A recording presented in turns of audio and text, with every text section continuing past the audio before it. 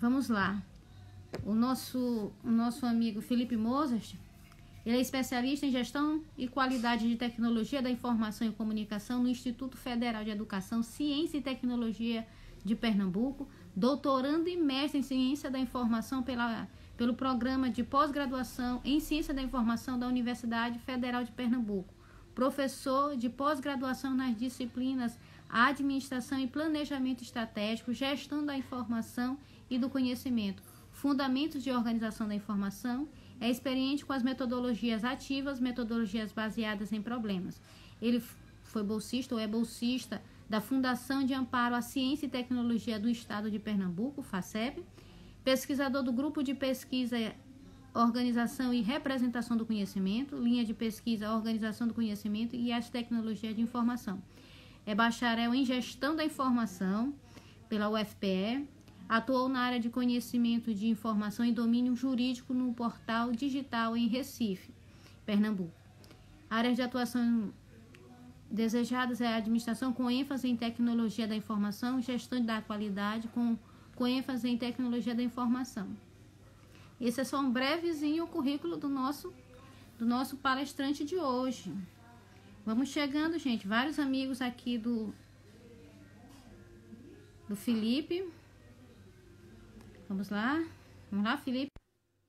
Vamos lá, vamos começar. Boa noite, Marco. Marco Antônio chegou. Isso. Conheci o Felipe no Eneb de 2015. Se não me falha a memória. Não foi, Felipe? Tá, tá bem, tá bem. Não entendi. Te conheci. Tu consegues me ouvir? Consigo. Tô falando então, mestre, eu não, não tá me ouvindo bem? Tô ouvindo. Tá. Tô falando que te conheci no Eneb de São Luís de 2015. Sim, um Eneb maravilhoso. Foi inesquecível aquele Eneb. Lembrar das, das festas e uma das festas da fantasia que, que tu tava vestindo Sim. de Kiko. Marcou a fantasia que marcou até hoje. De vez em quando a gente recorda pelas fotos desse, desse Sim. grande evento. Eu já te apresentei aqui e como eu disse antes, tu tem 25 minutos para para falar sobre a temática, né? Desmistificando o sistema de organização da informação. Ainda tem muita gente aqui entrando. Rony, Rony acabou de entrar, Rony Castro, que também vai palestrar com a gente. A gente já, já agendamos com ele para as próximas lives. Pode começar. Olá, boa noite, pessoal. Eu espero que todos vocês estejam bem. Tá dando para me ouvir bem, Gelda? Tá. Perfeito. Espero que todos vocês estejam bem, estejam cuidando da saúde de vocês, tá? Dos familiares, dos amigos. Lembrando que nesse momento, cada um na sua casa. Agradecer o convite feito pela Djalda para estar tá conversando um pouco com vocês, principalmente estar tá conversando no espaço gratuito aqui, que é o Instagram, parabenizar de uma forma geral de Jalda, o Janailton e a Joyce por estar proporcionando esses momentos de compartilhamento de conhecimento e a construção de novos saberes. Parabéns, Joyce, também pela defesa, né? Temos uma nova mestra. E, antes de tudo, parabenizar todas as mães, principalmente as mamães da ciência da informação e aquelas que estão assistindo a nossa live nesse momento. Sintam-se todas muito parabenizadas e abraçadas neste momento. Vamos lá? Pode ir. Então, uh, o tema de hoje é tratar um pouco a desmistificação dos sistemas de organização do conhecimento. É ideal que a gente possa perceber que sistemas de organização do conhecimento, ele advém de uma grande área, que é a área de organização e representação do conhecimento, que também pertence a uma área chamada tratamento temático da informação, certo? Essa área de tratamento temático da informação, ela origina três aspectos que são inerentes ao fazer e direcionam pesquisas que são basilares da área de organização e representação do conhecimento. Quais são esses aspectos? Processos, produtos e instrumentos. Tranquilo? Esses processos é a transformação dos documentos em produtos que possa facilitar a consulta aos originais. E aí, como a gente bem conhece dentro da biblioteconomia, da gestão da informação, da arquivologia, como exemplo desses produtos, a gente tem os índices, os resumos e os catálogos.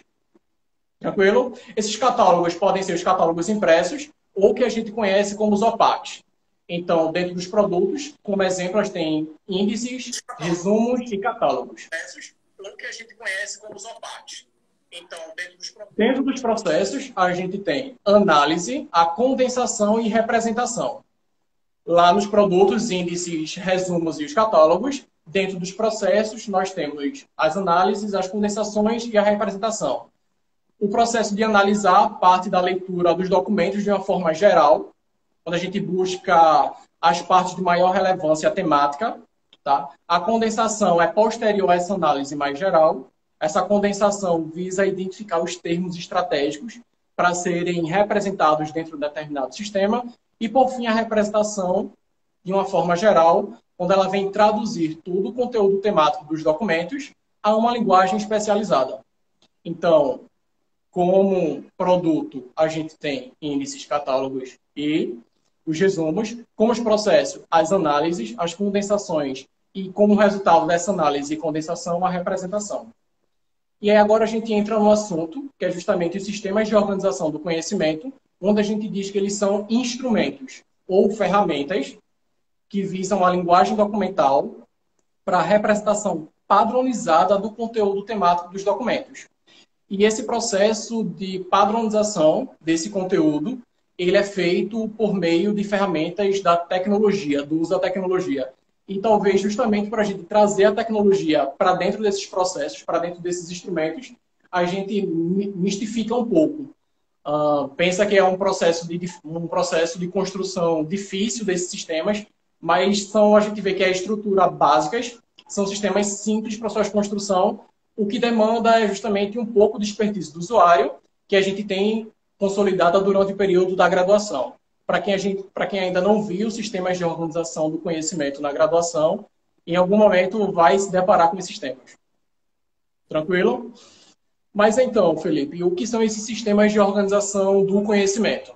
E a ideia de sistemas de organização do conhecimento, ela é derivada do inglês Knowledge Organization System, tá? que é uma proposta de um grupo de estudos que estuda basicamente sistemas lá em 1998 e quando traz aqui para o Brasil, ele sofre um processo de popularização e recebe adaptação da sua sigla comum. Sistemas de Organização do Conhecimento, SOC, ou Knowledge Organization System, COS. Beleza? Esses sistemas, ele permite a categorização desses recursos com esquemas de organização pré-determinados. Tá? Como exemplo desses sistemas, a gente tem taxonomia, tem ontologia, tem tesauros, foxonomia, mapas conceituais, entre outros. Então, esses sistemas ele vêm para contribuir a e melhorar a eficiência dos serviços de informações, tá? Esses sistemas eles buscam um processo terminológico específico das instituições, dos documentos que eles representam, e muitas vezes eles provêm de um trabalho cooperativo não é feito apenas por um único bibliotecário, um único gestor. É necessário que haja uma equipe multidisciplinar para poder estar tá construindo esses sistemas de organização do conhecimento. Beleza? Então, basicamente, esses sistemas, eles pertencem a eras do qual eles são fundamentados. A gente tem como um primeiro exemplo desses sistemas a era da pré-coordenação, temos a era da pós-coordenação, a era da internet e a era da web semântica, que é a qual vivemos hoje. Tá? O que é a era da pré-coordenação? A pré-coordenação ela nos apresenta sistemas mais estáticos. E aí, como exemplo de sistemas que, de produtos que pertencem a esse tipo de era, a gente tem os índices e os catálogos, onde eles atendem necessidades simples de sistemas manuais de organização e de recuperação da informação. Na era da pós-coordenação, diferente da anterior, a gente tem estruturas mais dinâmicas, que são justamente os vocabulários controlados ou tesauros. Eles possibilitam que cada um dos elementos, dos conceitos e dos termos dentro daquele sistema, eles possam ser manipulados de formas independentes para representar assuntos de determinado domínio. Como exemplo da era da internet, a gente tem as classificações hierárquicas. Exemplo desse sistema é a taxonomia, onde ela orienta o usuário na busca e da escolha que melhor expressa a, o seu processo de busca naquele sistema. E, por fim, a era da web semântica, que a gente se depara com os sistemas de ontologia, tá? que são sistemas por projeções inteligentes, onde traz a informação e o conhecimento de forma mais contextualizada. Então, são sistemas simples e a gente vai estar conhecendo um pouco cada um de forma mais fácil, desmistificando justamente aquele processo de dizer, ah, construir um tesouro é difícil, construir uma taxonomia é difícil. Não é, não é difícil a gente vai ver que quanto mais a gente revê, quanto mais a gente estuda esses assuntos, mais especialistas e mais competentes a gente se torna a poder construí-los. Tá? Tesauro, assim como os outros sistemas, ele vem de uma outra área, não necessariamente da ciência da informação, que é a área da linguística. O tesauro pertence aos estudos da terminologia, tá? e ela se alia, então, à organização do conhecimento para poder nos oferecer esse tipo de sistema. Ah, o termo tesauro, ele advém do latim tesaurus, que significa tesouro. Ele ganha popularização, esse termo, ele ganha popularização devido ao seu uso no dicionário analógico de Roger, lá em 1850, 1860, e dentro dos aspectos da linguística adotados dentro da organização e representação do conhecimento, o tesauro ele vem a ser como uma lista de descritores, termos controlados, que representam os conceitos de um determinado domínio. Ele organiza essa estrutura em uma estrutura hierárquica que, além dessa hierarquia, eles promovem relações semânticas entre os termos. Tá?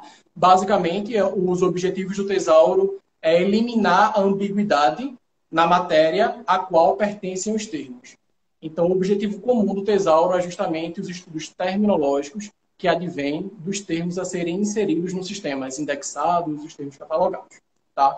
Alguns outros objetivos do tesauro é representado de uma maneira mais unívoca, de uma maneira mais única, o conteúdo dos documentos, é auxiliar o profissional da informação, o bibliotecário, o gestor, no processo de indexação dos documentos e das consultas. Uh, os tesauros também auxiliam a controlar um vocabulário utilizado em um determinado sistema documentário. E ele serve de ponte entre o profissional da informação e o usuário. Certo? Tá dando para compreender bem? Então, o tesouro ele contém três elementos essenciais, tá? Mesmo que seja um tesouro simples ou um tesouro mais complexo, eles têm a mes... podem seguir a mesma estrutura. Ele contém descritores, que é quando a gente tem aquele TE, o termo específico, TR, termo relacionado, uh, nota explicativa, entre outros. As definições, que é justamente a conceitualização dos termos, e as relações. E aí, nos tesauros, a gente tem as relações lógicas, as relações ontológicas e as relações partitivas. Quando a gente fala assim, fica tentando relembrar, puxar um pouco lá da graduação, né, Djalda? É. E, como eu disse, a, esse ensinamento, ele tanto vai servir para quem já passou pela graduação, com o processo de revisão, como quem está na graduação e quando nós voltarmos à normalidade, vai se deparar com esses sistemas. Vai se deparar com tesauro, vai se deparar com taxonomia e com, com ontologia, mapas conceituais. Então, as relações do tesauro, como eu disse para vocês, são três tipos, as mais gerais, digamos, as relações lógicas, as relações ontológicas e as relações associativas. O que são essas relações lógicas? É uma relação do tipo mais sistematizada, onde ela produz um tipo de relação hierárquica, onde inclui termos genéricos e termos específicos, certo? Ou seja, os termos subordinados e os termos superordinados. Os termos superordinados são conceitos mais gerais e os conceitos subordinados são conceitos mais específicos, tá? Aí, como exemplo, um tesouro da medicina. A gente tem como conceito geral, o conceito superordinado, doença.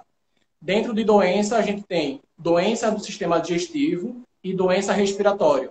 Então, doença do sistema digestivo e doença respiratório são termos subordinados a doença, certo? Pneumonia é um termo subordinado à doença respiratória, que é um termo subordinado a doenças. Isso é o tipo de relação lógica, uma relação mais sistêmica. Além da relação lógica, a gente tem as relações ontológicas, que é basicamente reconhecer, é, analisar o conceito, exigindo uma observação do ponto de vista do objeto.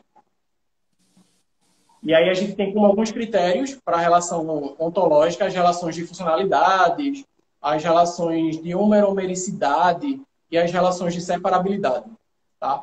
E aí, se a gente for discutir um pouco do que cada relação dessa significa, é assunto para cada live de cada dia. É fechar uma semana falando só sobre sistemas de organização. Um dia só para tesauro, um dia só para taxonomia. Então, estou trazendo os conceitos mais gerais. Então, relações lógicas, relações ontológicas e as relações associativas.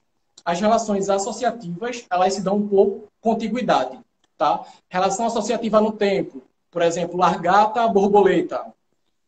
Relação associativa no espaço, uh, esquadrilha, janela. Estão dentro do mesmo espaço. Relações associativas em ações. Indexação, como resultado, nós temos o índice. Tecelagem, como resultado, nós temos o tecido. E as relações associativas por processos e etapas de um processo. Por exemplo, um ciclo de vida humano. Infância, adolescência, a fase adulta e a velhice. Isso são tipos de relações associativas. Tá? Uma dica para vocês estarem compreendendo melhor como funciona o tesauro é vocês visitarem o Tesauro de Folclore e Cultura Popular Brasileira. Ele oferece duas partes. É um, é, um tesauro que está online, tá? Então, oferece a parte sistemática e a parte alfabética. A parte sistemática, ela aborda uma categorização uh, por meio de domínios do folclore e da cultura popular. E alfabética, a gente tem de A a Z e a gente pode navegar pelos conceitos e os termos que são apresentados na, naquele sistema. Tranquilo? E aí, se vocês fizerem uma busca dentro desse tesouro da, do folclore e da cultura popular brasileira, se vocês buscarem pelo termo São João, a gente tem lá, São João é o santo que batizou Jesus, Jesus Cristo, é considerado o último dos profetas e o primeiro apóstolo. E aí a gente tem os elementos funcionais, que é o termo genérico, que é o santo, e o termo associado, que é o ciclo junino. Quando a gente clica em termo genérico, que é o santo, a gente tem outros termos específicos derivados de santo. Por exemplo, São João, São Lázaro, São Pedro, São Jorge, Santana, Santa Bárbara. Quando a gente tem os termos associados de santo, a gente tem Bacuro, Candomblé, Orixá, Xangô, que são termos associados à busca por santo. Tá? E, por fim, dentro desse termo São João, como termo associado, a gente tem ciclo junino, Aí vem a definição lá, ciclo junino é o tempo que se inicia no dia 13 de junho, que é o dia de Santo Antônio, e termina com a festa de São Marçal, dia 30 de junho. Aí, termo genérico é o tempo, e os termos associados de ciclo junino é arraial junino, festa junina, que inclusive é uma das manifestações culturais do, do, do de São Luís, mais tradicionais, né? Uma das grandes festas que vocês promovem aí. Então, resumidamente, o tesauro ele integra os termos dentro de uma mesma categoria. Ele busca determinar as diferenças de uma espécie em relação a outras espécies de conceito. Ele possibilita uma divisão e análise de gênero pelas diferenças, mais uma vez seguindo a estrutura subordinação e superordenação. Beleza? Falando sobre essa estrutura pai e filho, a gente tem o sistema de taxonomia, que é um dos sistemas mais simples de serem construídos e a gente tem como exemplo de taxonomia, por exemplo, uh, os portais institucionais da UFMA, os repositórios institucionais. Então, o que se entende por taxonomia? O tesauro advém dos estudos da linguística, a taxonomia advém dos estudos do, da biologia, tá? principalmente aquela que traz a classificação dos seres, a classificação das plantas, né? como a gente ouviu a taxonomia de Carlos Linneu, onde a gente tem filo, classe, espécie, gênero, família, certo? Então, como sistema da organização do conhecimento, a taxonomia ela trata de uma lista de termos preferenciais, com estruturas hierárquicas. Assim como o tesauro tem a relação pai e filho. Tá? No tesauro, a gente tem como função principal a terminologia dos termos. Na taxonomia, a gente tem como objetivo geral a navegação, a visualização. Ou seja, já que a gente transita a, a, pelas categorias por meio da navegabilidade. Certo? Alguns critérios para construir a taxonomia. Comunicabilidade, que são os termos que comunicam o usuário, que são os termos que são coerentes ao usuário. Compatibilidade, os termos eles têm que ser afim ao que o domínio representa. Por exemplo, um site de e-commerce, Magazine Luiza. Tem lá eletrodomésticos, geladeira, fogão, uh, eletroportáteis, notebook, entre outros. Então, não, assim, no Tesauro, a gente precisa compreender o tipo de linguagem que é uma linguagem especializada. Na taxonomia, ela já dispensa que o usuário possa conhecer a terminologia do termo. Tá? O usuário não precisa conhecer os termos que são apresentados na taxonomia. Tá? E é isso que provém o uso e a motivação da navegação entre os termos da taxonomia. Método de construção de taxonomia. Do genérico ao específico, ou seja, de cima para baixo, um processo descendente. A gente pode seguir do de baixo para cima, que é o processo ascendente, e por aproximação facetada. A gente pode estar aplicando aí o PIMEST, por exemplo, para poder construir uma taxonomia que seja oriunda da ciência da informação. Tá. Três tipos de taxonomia. Taxonomia canônica, é uma taxonomia de caráter aristotélico, tá? É uma taxonomia dicotômica, onde a gente tem substância corpórea e incorpórea, uh, o corpo animado e inanimado, uh, ser vivo, sensível, ser vivo insensível, animal, racional, animal irracional. Existe a taxonomia de domínio, que diferente da taxonomia canônica, ela é uma taxonomia policotômica, tá? é voltada para a representação do domínio do conhecimento e possibilitando vários tipos de divisões. A taxonomia de domínio, por exemplo, se a gente falar a taxonomia da geologia, a gente tem a personalidade água, água da chuva, água doce, água termal, são termos subordinados pertencentes ao o termo superordinado personalidade. A energia de geologia, catástrofe. Quais são as catástrofes? Furacões, maremotos, secas. Então, esses elementos são elementos subordinados ao elemento principal, que é a energia catástrofe. Então, isso é um tipo de taxonomia, taxonomia de domínio geológico. E um terceiro e último tipo de taxonomia é a taxonomia de tarefas. E assim como a taxonomia de domínio é uma taxonomia policotômica, existem diversos termos entre eles. E aí um exemplo fica mais fácil, que é um exemplo para os profissionais da informação, por exemplo, representação do conhecimento. Na representação do conhecimento, a gente tem catalogação, tem indexação e tem análise de assunto. Certo ou errado, Jota? Certo. Na catalogação, a gente tem catalogação na fonte, catalogação cooperativa, catalogação centralizada.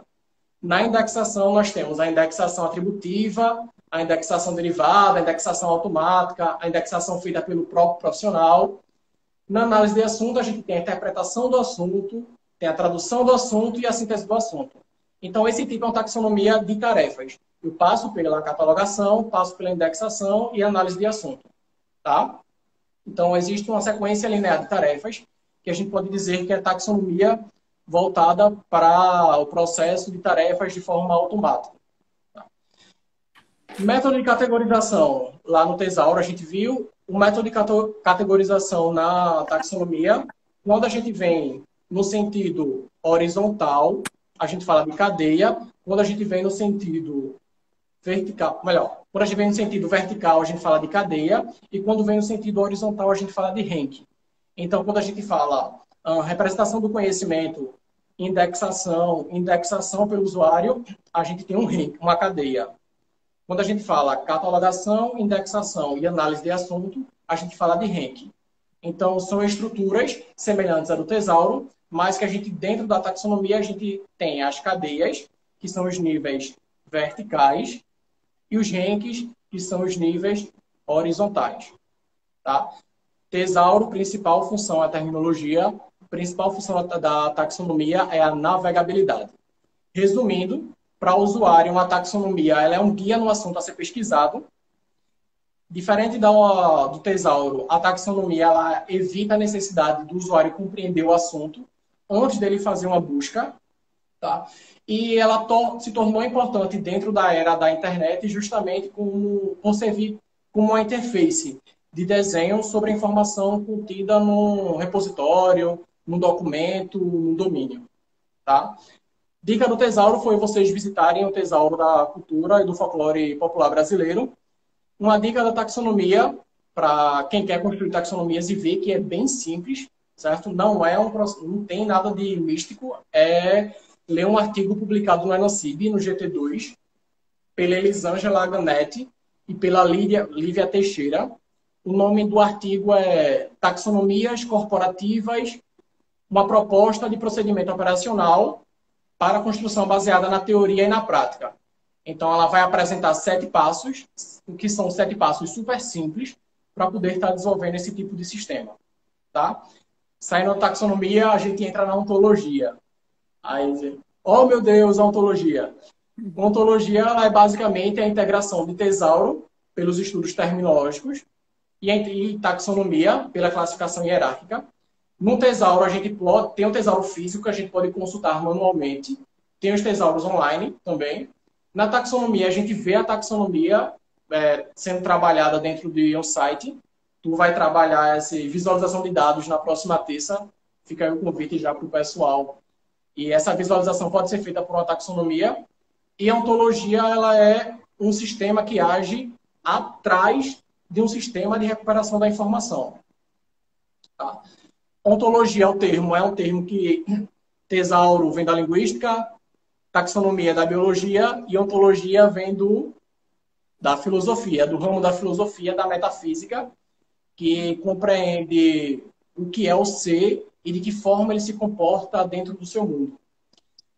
Mas, na ciência da informação, a gente entende a ontologia como a arte do processo de tratamento e organização da informação e do conhecimento e sua respectiva representação.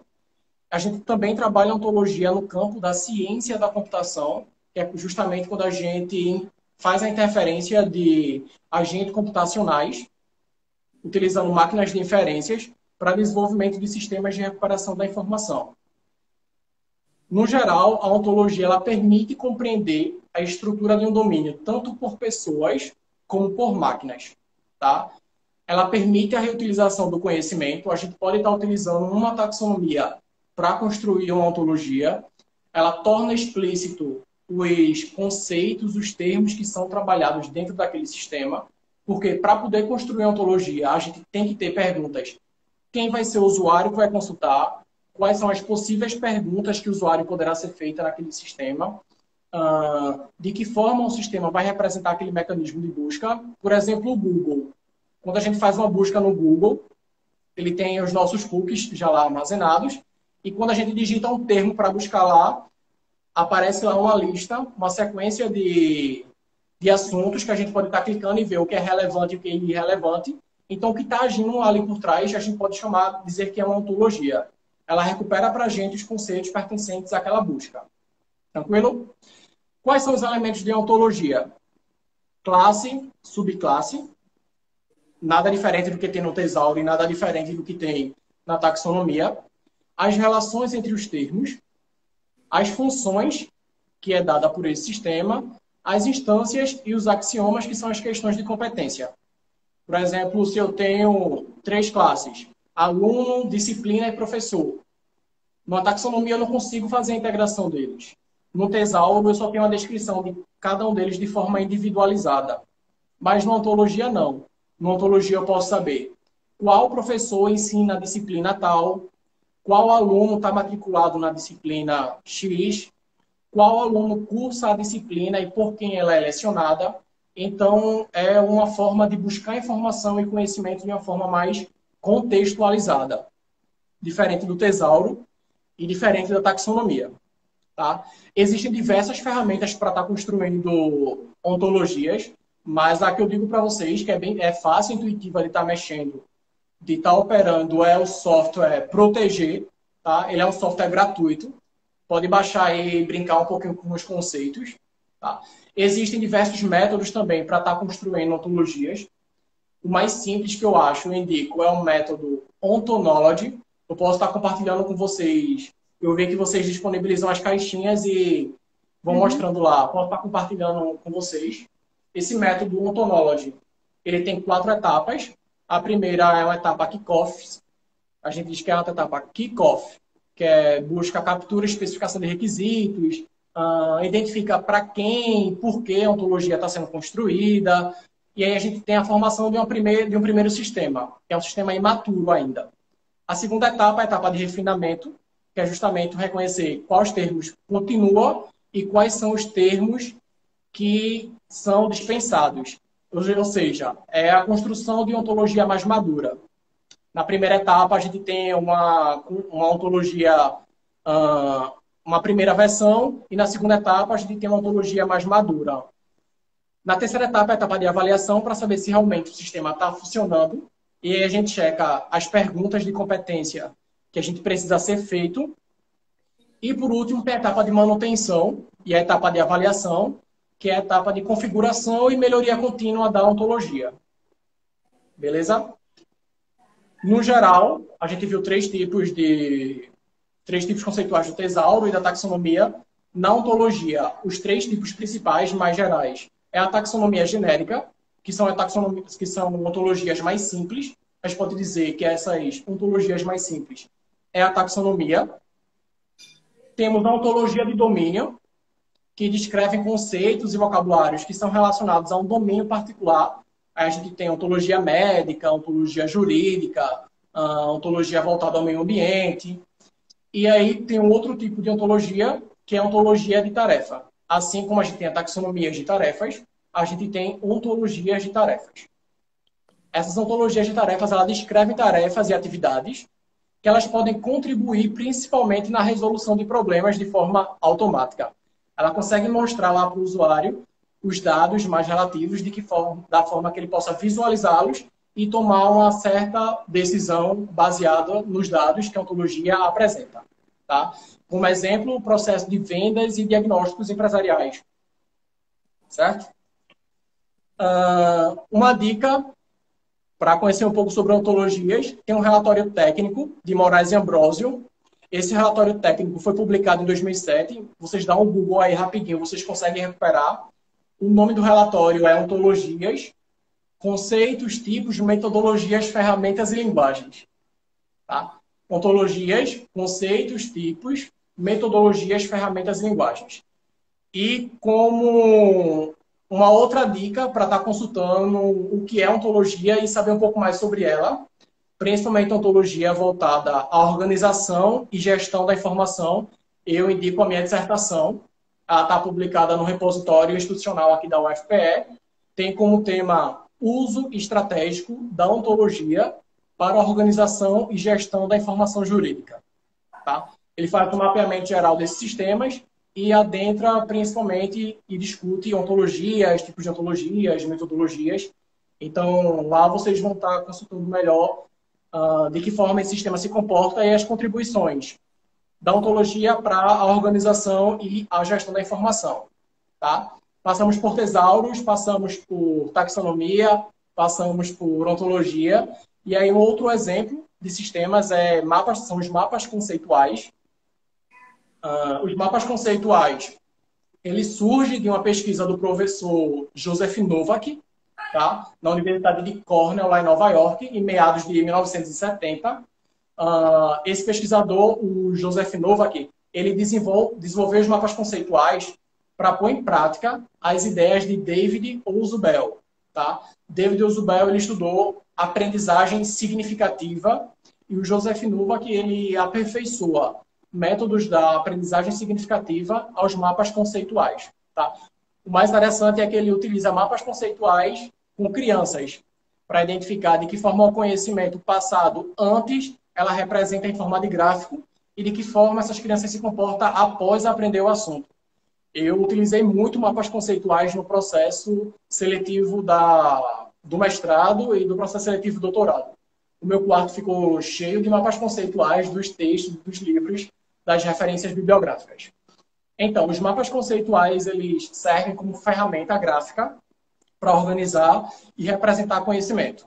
ou seja, é uma ferramenta para tomar nota, ajudando a organizar a informação de forma mais fácil a gente recuperar, para a gente relembrar, ou seja, formar fácil e eficiente o processo de rever, relembrar, desperta a nossa criatividade. Eu trabalhei com post-its em papel 40, em papel madeira, libera a mente, no pensamento linear, a gente lê o texto, compreende e representa aquele texto da melhor forma possível, uma forma visual.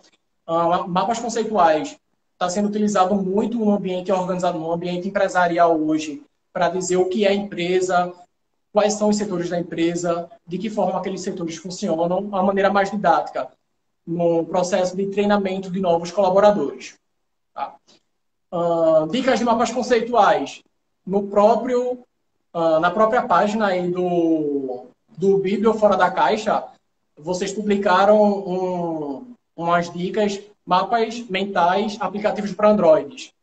Aí tem o Xmind, que é o Mind Mapper, tem o Madly, Mind Maps, e uma outra ferramenta que é uma ferramenta gratuita também é o CMAP Tools. É uma ferramenta gratuita também, onde a gente pode estar trabalhando textos, e quando a gente lê um texto, a gente consegue referenciá-los de uma forma gráfica. Então a gente lê o conceito, então diz, ó, oh, Dalberg é a mãe da organização do conhecimento. Então a gente consegue estruturar lá. Então esses aplicativos, alguns são gratuitos. O CMAP Tools, ele pode ser baixado em qualquer computador e vocês podem estar utilizando ele de forma gratuita. Assim como Proteger da, da ontologia, o CMAP Tools é uma ferramenta bastante intuitiva em que vocês conseguem colorir, conseguem adicionar uh, particularidades em diversas categorias. Escrever o nome. Eu vou passar para vocês essas ferramentas e fica mais fácil para compartilhar. pouquinhos também aqui na Bíblia Fora da Caixa. Só, é um faço pouquinho. Fica tudo organizadinho. Beleza. E aí a gente tem tesauro, taxonomia, ontologia, mapas conceituais e por fim a gente tem as foxonomias. Tá? A foxonomia ela é um sistema da, voltado para a Web 2.0. Tá? No, um conceito geral sobre foxonomia, ela é um conjunto de termos que um grupo de usuários de internet utiliza para etiquetar conteúdos e recursos digitais.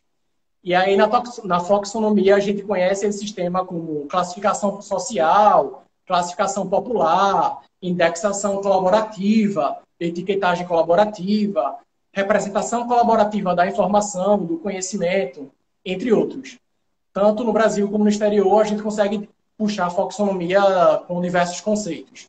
Inclusive, quero deixar o convite para participar da live amanhã pelo Diretório Acadêmico de Gestão da Informação daqui da UFPE, onde ele, a gente vai estar é a Raimunda Fernanda, especialistas em foxonomias, e no mesmo, na mesma página, no dia 20 de maio, a gente tem a professora Márcia Braz, falando também Mas... sobre foxonomia. Ah. Tá? Características gerais da foxonomia é as tags, ou hashtags, como a gente bem entende assim, um termo mais popular, são consideradas como pedaços de informações, etiquetas, separadas de um objeto informacional. Por exemplo, foto, vídeo, áudio. Ou seja, essas, essas etiquetas elas são referenciadas a esses objetos e ela é um processo cognitivo do próprio usuário. Então, as etiquetas fornecidas naquele post, naquela imagem, naquele documento, ela tem que pertencer ao domínio dele, tá? É importante a gente ter claro o entendimento do usuário acerca do objeto que ele está rotulando. Então, se a gente fala, por exemplo, a gente tem uma imagem de uma imagem urso, uma etiqueta com o nome urso. Se a gente puxa lá a hashtag urso dentro do, digamos, dos animais, a gente tem um animal mamífero, um animal fofinho lá, urso polar, diversos tipos de urso. Isso a gente falando de ursos como animais. Se a gente puxa a etiqueta de ursos numa comunidade LGBT, por exemplo, a gente tem o urso mais fortinho, o, urso, o homem mais peludinho. Então, tem os ursos, as lontras. Então, a gente percebe que esses conceitos, a cada maneira que ele está sendo representado, a cada região ele pode diferenciar também. Por falar em região, a gente tem, por exemplo, macaxeira, aipim e outras raízes. Macaxeira aqui no Nordeste, o aipim lá no Sudeste. Então, na Foxonomia, se a gente indexa a macaxeira e coloca lá a hashtag macaxeira, a gente quem puxa lá o aipim tem que entender que aquela imagem, naquela região, ela é chamada de macaxeira. Macaxeira. Lá no sul, sudeste, de aipim, se a gente brincar, ainda tem outros nomes para ela aí. Mandioca, enfim. Alguns tipos de foxonomia. A gente tem as foxonomias abertas e as foxonomias controladas. As foxonomias abertas, ela não há restrição de etiquetagem. O usuário é livre. A gente coloca o que a gente quer certo? Por exemplo, a gente tem aqui o Instagram, onde a gente coloca uma imagem, mesmo que a gente coloque lá uma imagem de café, a gente coloca lá, presente Dia das Mães. E o que é que tem Dia das Mães relacionado a café? Para aquele usuário tem. Então, é um tipo de foxonomia aberta.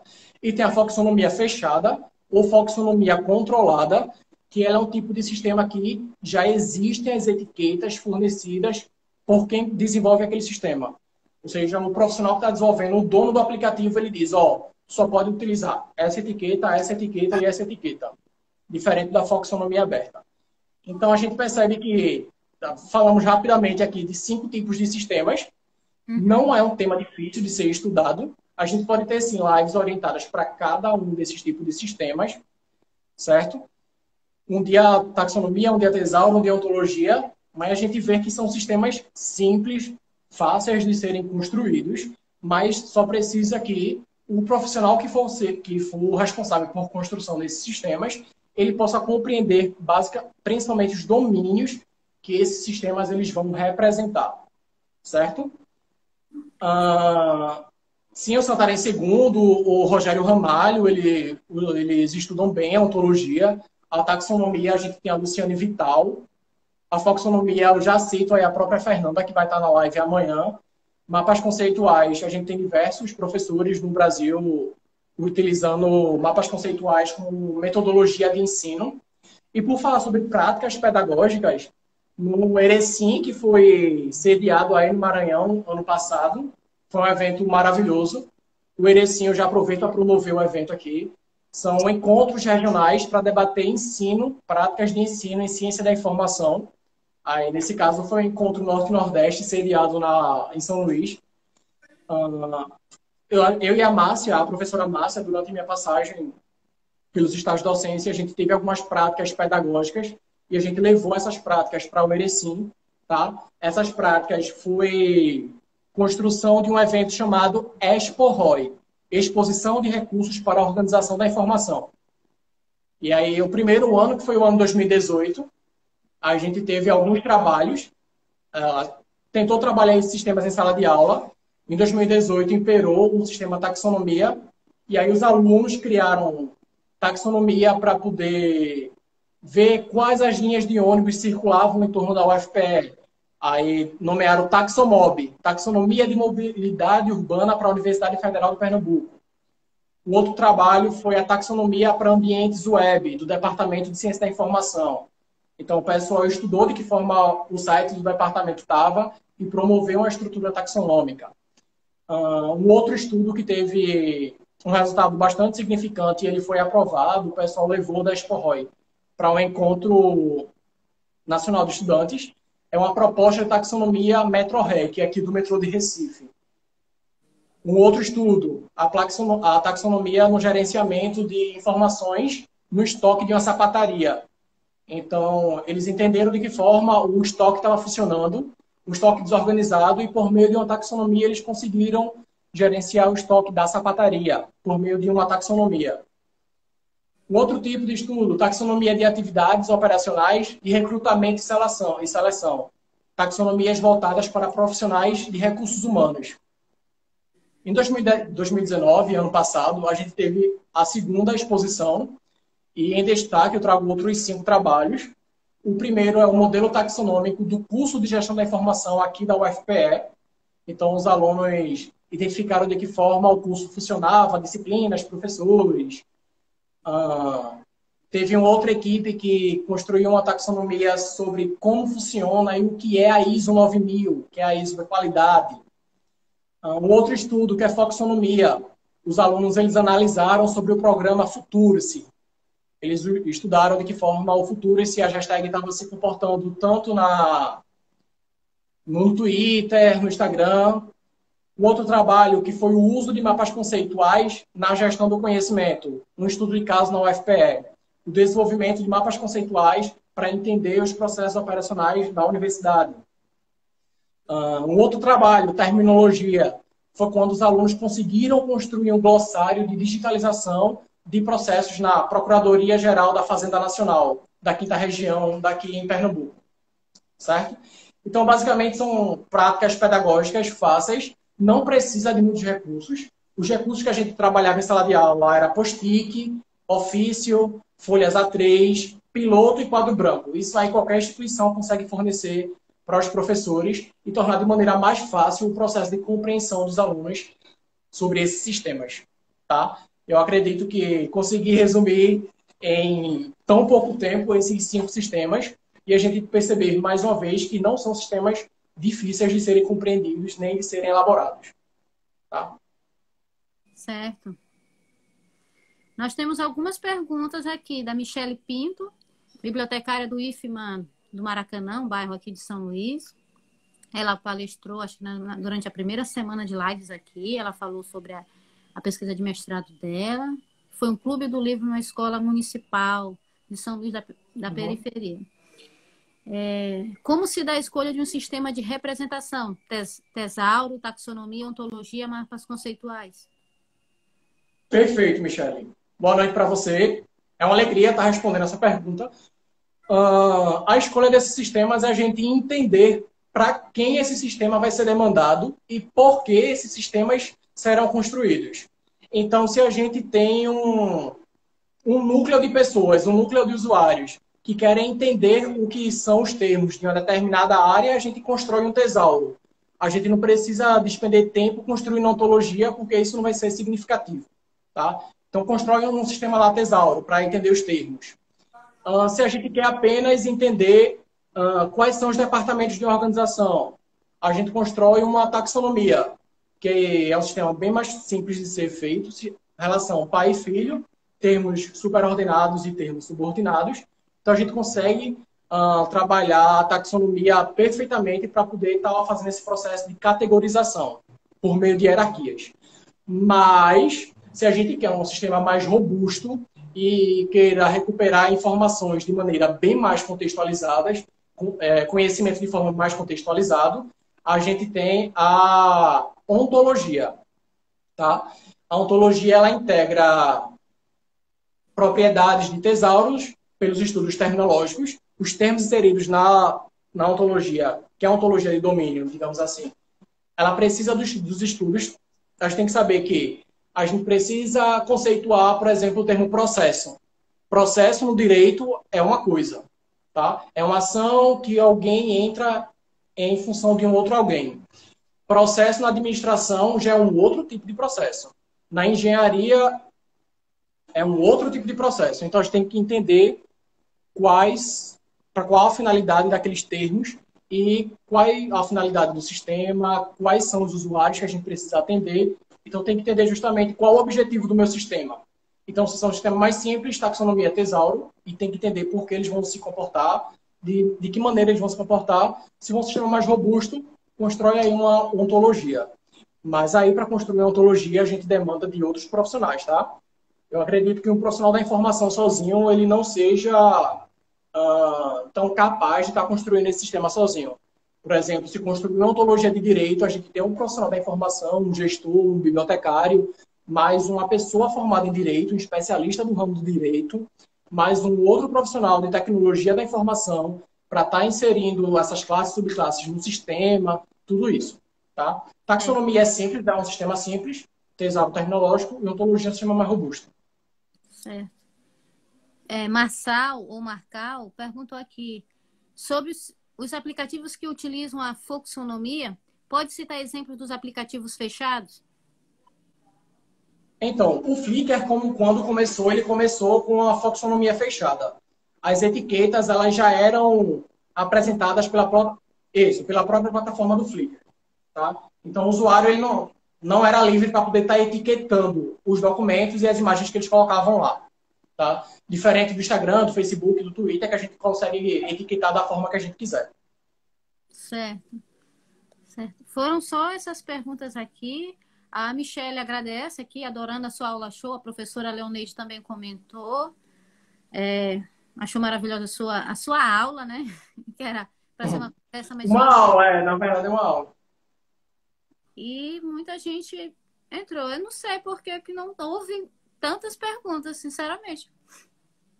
É porque todo mundo já está esperto em, em, sistemas de organização do conhecimento. Marcal lá que falou, ou ele, não sei, tirou várias dúvidas que eu tinha. Só não... Foi uma palestra autoexplicativa. Espero que tenha sido. Oh, a Michelle falou aqui, comentou. Aqui no Maranhão, macaxeira é o que comemos. Mandioca é o que se faz farinha. É para aplicar na ontologia. Ó, já tem, já tem a diferença na utilização, tá vendo? Se vai utilizar para comer, é macaxeira. Se vai utilizar para fazer uma outra, outra comida, é a mandioca. É. Joyce acabou de perguntar aqui. Cite um exemplo de sistema que use fluxonomia na biblioteconomia. Na biblioteconomia, a Joyce, um sistema que utilize fluxonomia na biblioteconomia uhum. Tá. É, Foxonomia ela não é um sistema inerente à biblioteconomia e nenhuma outra área. Tá? A gente pode dizer que Foxonomia pertence a um novo campo chamado de humanidades digitais, digamos assim. Uh, a, a Foxonomia, dentro da biblioteconomia, ela se comporta de uma maneira de representação do conhecimento, tá? representação da informação, representação do documento. E aí depende de leis e de regras, que é justamente a etiquetagem pelo usuário. Tá? Então a gente consegue representar um domínio, consegue recuperar um domínio apenas uh, por meio da colaboração social. Auris, Auris Telima pergunta: Como você vê o futuro dos sistemas de classificação tão robustos como a CDD e CDU com o avanço do tratamento da informação digital?